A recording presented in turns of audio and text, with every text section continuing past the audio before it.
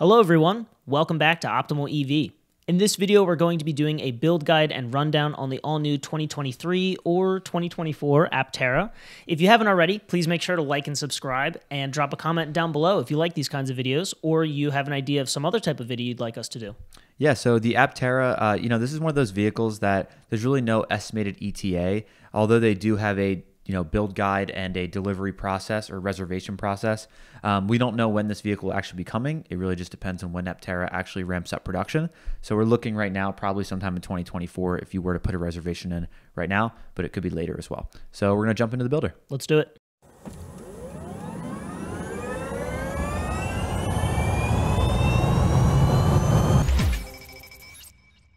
All right, so here we are on Aptera's website where you will see the first look of the vehicle. Now, if you haven't seen this one before, uh, it's pretty unbelievable. So before we even get anything, I'm just going to go through a couple of the pictures. It is nice that their site allows to show multiple pictures of the vehicle. Yeah, this might be the most unique electric car we've ever reviewed, or, you know, arguably is on the market. I'm sure there are going to be some upcoming ones soon, just like this one, but this one's pretty dope. Yeah, and notice it's a three wheeler. So it's it looks like a egg bubble thing. I, I don't know how to explain it, but Yeah. definitely really futuristic. It almost gives like Jetson vibes. Yeah, for sure. It definitely reminds me of some type of spaceship. I know for a fact if you're someone who really likes attention, even if it's not a unbelievable sports car, if you drive by someone in this, everyone will be looking at you, especially in the first like year of deliveries. Oh, for sure. Um, it'd be pretty cool to have. And uh, you know, to on the jump, you'll see twenty nine thousand nine hundred. Now that's for Yeah. the build that we have. It's actually twenty five nine for the lowest battery size. And uh, when I say build that we have, the reason that there is a build already done is because I actually put a reservation in on it. So Yeah. hundred dollars, why not? Let's see what happens. Hopefully, uh, one day I'll actually receive it. But uh, you know, we'll never know. It's exciting. a new car potentially in the order uh, down the line. So we'll have to definitely give you guys a full on review once that car is delivered, when it is. Yeah. At the top right here, you can see that the base stats are a 250 mile range on this battery selection, a 0 to 60 of 3.5 seconds, which is pretty quick. And that is on the all-wheel drive. So you'll see two seconds slower on the front-wheel drive system. But again, all-wheel drive does make a huge difference on the speed, so that's what we went for. Yep. There are solar panels that are also built into this, which is available to see on one of the bottom gallery pictures.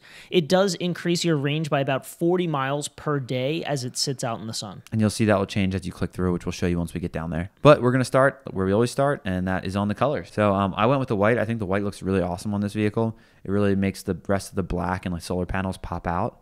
But also, I was really you know torn because the black also looks pretty. It pretty looks good. stealthy. I really love mm-hmm. like a stealthy black color on this type of car. Yeah, I wish it was just full black. Even if you could do like the tail lights, and obviously for legal reasons you can't. But Yeah. it looked pretty sweet if everything was black. And out. then the first option here we have is kind of just like a silver. So there's silver, white, and black. And then the very last option allows you to really customize it. I believe mm-hmm. they're allowing for you to just pick whatever color you want. Although it's obviously a fifteen hundred dollar custom paint job.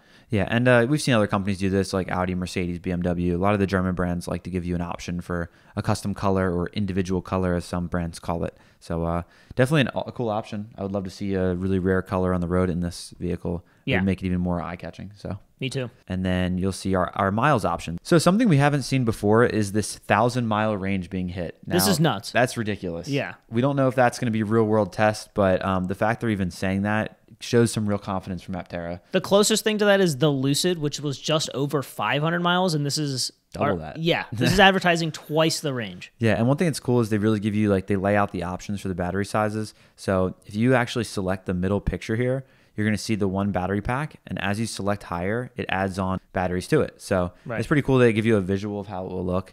And um, price wise, you're going to jump around twenty thousand dollars on the max size battery.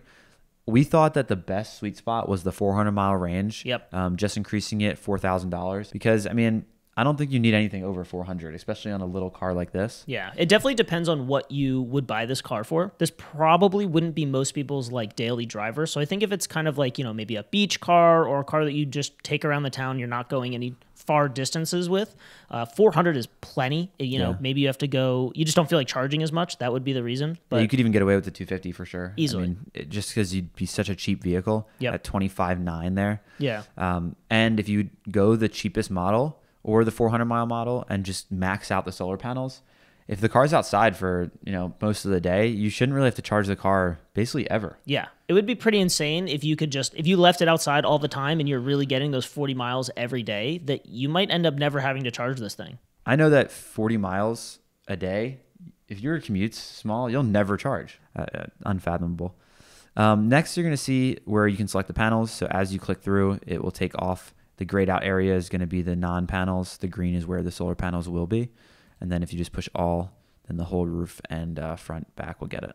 $900, not really bad for solar panels. Yeah, I mean, it, I don't know. If you click on the smaller amounts of panels, you'll notice that it does change how many miles you are getting per Mm-hmm. day per charge. So if that 40 miles is something that's going to push you over never having to charge it and that's what you're looking for, obviously you should include all the panels. Yeah, so 16 to 22 to 34 to 40. Right. Now, that's pretty cool because you really get to like customize. Let's say you know what your commute is every day. You can customize it to fit that exactly, Right. which is really nice. Let's just hope that they're actually accurate with what they're telling you on the recharge. Yeah. Um, I think they actually posted, if you can go check out on Aptera's website, um, they show where the hot zones are for uh, solar charging. So, you know, depending on what state you're in, you can check it out. And uh, they have different like levels of heat signature there. Uh, next, we have our front wheel drive and all wheel drive system, which we briefly went over. You'll see that it's $2,500. Now, they also made another visual for this, where if I deselect the all wheel, it'll take away the green on the rear, uh, you know, one wheel. Yeah. So it's uh, still all wheel drive, but three wheels. So pretty cool. Moving on to the interior, we have three different options here with the starting off with like this kind of dark blue. I think it, it, it looks black in the picture, but the bottom right kind of indicates that it's really just a, a dark blue. And then the next option is like a light whitish gray with hints of beige. That's our favorite. Yeah, we love that contrast in there. And then the last option is black and orange. And as you can see, the accents on the back of the seat. I think this looks super sharp. Yeah, this looks does. really It clean. does look cool. Um, but you know, to I each like their the own. white, like just in the middle part. Yeah. I was going to say some comments on the interior. It's extremely simple. The mm. seats don't look overly comfortable. They're pretty thin. But obviously, if this isn't your daily driver, you're probably not going to be spending too much time in there. You're not going to be doing a lot of long distance driving, probably. Mm. The dash itself, very simple, very clean. You know, a little small touch that I noticed just from clicking through. If you look at the steering wheel stitching, if you click through the different ones, you'll see that it actually changes the steering wheel with the uh, matching the interior. Wow. Very cool. Yeah. Um, and then also you have the custom color. I'm surprised it's only nine hundred dollars. For custom interior. Yeah, I guess maybe they keep it black eh, or like one of these colors, and then they paint the back piece maybe, uh, just to keep it cheaper for them. But Right. if they actually do change the color of the seat That would be for nine hundred dollars, that's really really good. That's Yeah. insanely cheap. So definitely uh, have to look into that a little more. And you'll see that all you have to do is save and continue and put hundred dollars on your uh, reservation, which I already paid for. Just gonna go through these pictures one more time. The rear looks super slick. I love how it really just resembles like a ship in the back. It's it's so sleek. It is. I, I really we watched a couple videos just uh, on you know people driving the car, the prototypes of it, and it does look like it's going to be a little uncomfortable. Yeah, ride, it, it's probably going to be a little bumpy. Like I said, I don't think this is something that you should take to and from work every single day unless you aren't going on the highway because it doesn't really seem like it can handle a lot of big bumps and you know rough roads, which Yeah. we're used to up here in the Northeast. Hundred percent. And one thing that I noticed that I don't know if will be street legal for the United States is see these screens here. Yeah, So those screens are for the uh, side mirrors. So they're just uh, digital screens that show the the camera on the side. right. Now I know that other brands tried doing this. Uh, I think it might have been Tesla for at start. They tried doing that in other countries, but they weren't allowed to do it here. So uh, the Cybertruck, another one, had like Yep, no mirrors I on do it. remember that. So I don't know. I wonder if that's going to stick, but maybe they can get some kind of regulation passed or uh, an exception or something. But And then that very it. last picture, it does show you kind of like a, a center console view into the back. Uh, doesn't really look like there's too much back there for storage. Maybe you could just throw something back there, maybe some clothes or a backpack if that's what you're doing. little door handle. It's kind of like a Oh yeah, like strap. Yep. Uh, yeah, I think it's pretty cool. The seats don't look the most comfortable at all. I feel like it's something with the slope of the headrest that Right. kind of makes doesn't it come just out look like flat. Right.